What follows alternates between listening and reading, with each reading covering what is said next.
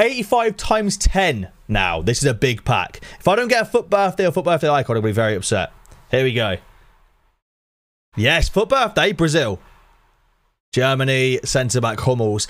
Could be a dangler. Could be a dangler, Antony. Could be a dangler, um, I guess Alex Telles. Um, I'm trying to think who else is good in the team. I don't know. Could be danglers. I think he's the second highest rated. Here we go. Or an icon. We did get danglers, to be fair. Every single card was a walkout. That is an incredible 85 times 10.